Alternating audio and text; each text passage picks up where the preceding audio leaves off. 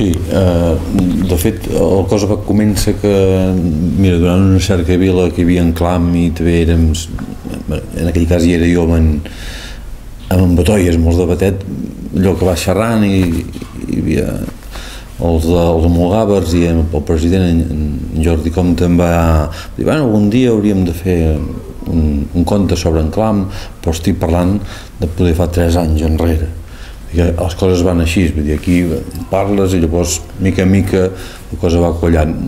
Fa tres anys enrere va sortir aquest primer comentari a peu de carrer, a peu de Cercavila, i a partir d'aquí ells devien anar parlant, ho van anar fent en sèrio, van anar trobant les maneres de, de, bueno, de poder-ho pagar, de parlar amb l'Ajuntament que devia assumir la seva, la seva part, llavors ja va estar, ja va ser demanar-li, manxar-li, posar-lo al corrent. Jo de seguida que vaig saber que ells ja tenien intenció, ja li, de seguida que hi ha alguna cosa ja li dic que manxar-li i ell ja barrina.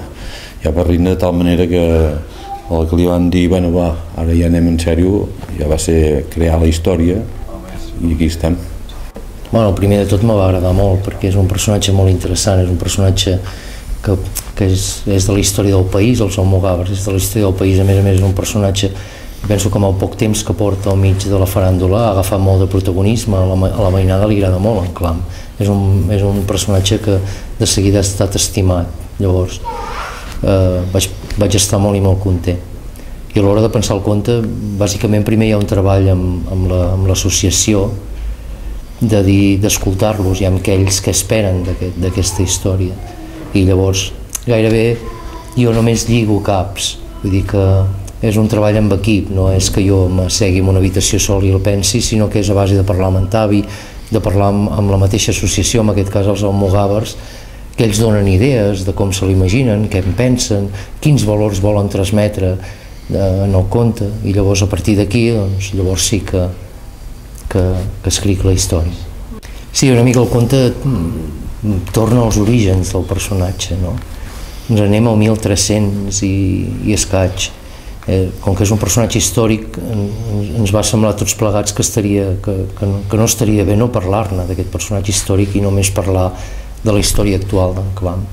Llavors el llibre comença de fet 700 anys enrere i, i amb, amb 12 pàgines molt curtes però arriba fins a l'actualitat, no? a el que és ara, que és un personatge divertit amb els valors de, del Barça i amb els valors dels almogàvers que són que són la festa, però també són solidaris, són actius, compromesos i, i és, és el que és en clau.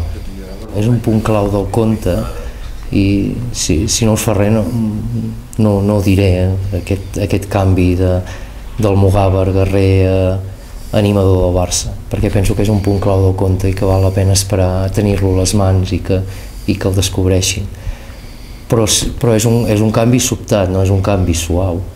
Eh, és, és una de les claus del conte. No? Tot un plegat, eh, hi ha un canvi radical al conte, d'una pàgina a una altra, gairebé que, que podem parlar de dos contes diferents. Tothom entendrà perfectament de com passa en clam de ser un guerrer almogàver a ser un seguidor afèrrim del Barça. Home, eh, jo tinc l'avantatge que amb en Xavi, com que tenim molt de contacte dia a dia, per dir d'alguna manera, ja em posa bastant al corrent ja des del primer esbós de la història. Mm, per altra banda, mm, home, sempre és complicat perquè sempre són, tots els contes són molt diferents. Aquest, aquest volia, eh, ens remetíem a això, una època en què hi havia unes, unes vestimentes i una, una estètica molt diferent de la d'ara, ens remetíem a un fet històric i llavors a partir d'aquí, clar, a, a mi això m'agrada, però em vaig haver de documentar molt eh, amb imatges que podia trobar, de com podia ser aquella època, amb documentació de, de les armes, dels, dels uniformes, eh, la manera de, de lluitar, dels cavalls, de tot plegat, no? Eh, això és una dificultat, però és una dificultat que, que a mi m'agrada, no? que a mi m'agrada, a més, amb aquest tema.